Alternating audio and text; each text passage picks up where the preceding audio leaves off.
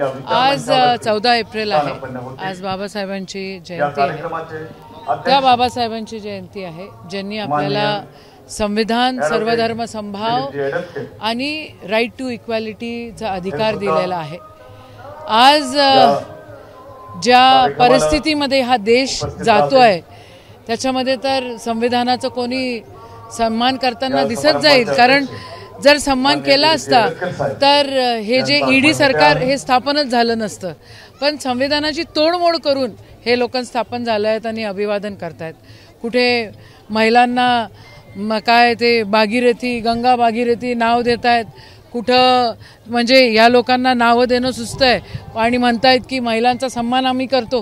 आणि एकही महिलाचं रेप्रेझेंटेशन त्या सभागृहामध्ये त्या कॅबिनेटमध्ये नाही आहे म्हणजे जे बोलतात त्याच्या विपरीत करतात. संविधानाच्या विरुद्ध चालतात.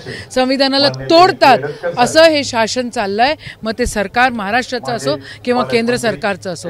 लाज वाटली पाहिजे ह्या लोकांना असं वागायला. आणि मग येऊन बाबासाहेबांच्या चरणी त्या ठिकाणी नतमस्तक होण्याचं नाटक करतात. म्हणजे यांच्या मनामध्ये भाव नाही आहेत. यांच्या मनामध्ये आदर तिथे नाही आहेत. आणि राजकारणापायी हे सगळं त्यांना मजबुरीनं करावं लागतंय म्हणून ते करतायत. या सगळ्या गोष्टींचा आज या जयंतीनिमित्त मी निषेधच करते. राहुल गांधी उद्धव ठाकरेंची पहिल्यांदा व्हिजिट करणार आहेत राज्यात एकंदरीत भेटीत कसं बघता? चांगली गोष्ट आहे. दोन्ही नेते म्हणजे रा राहुलजी गांधी आहेत आणि उद्धवजी ठाकरे साहेब आहेत. हे दोन्हीही नेते अतिशय सालस आणि दोन्हीही नेत्यांचा उद्देश एकच आहे की संविधान वाचवायचं आणि संविधान वाचवण्यासाठी जे करावं लागलं ते करायचं. तर म- मी या सगळ्या भेटीला फार पॉझिटिव्हली घेते. ते जे काही निर्णय घेतील सालस आणि समजदार नेतृत्व ही आहेत आणि जे काही घेतील ह्या देशाच्यासाठी या महाराष्ट्रासाठी ते नक्कीच फायदेशीर असेल असं माझं मत आहे.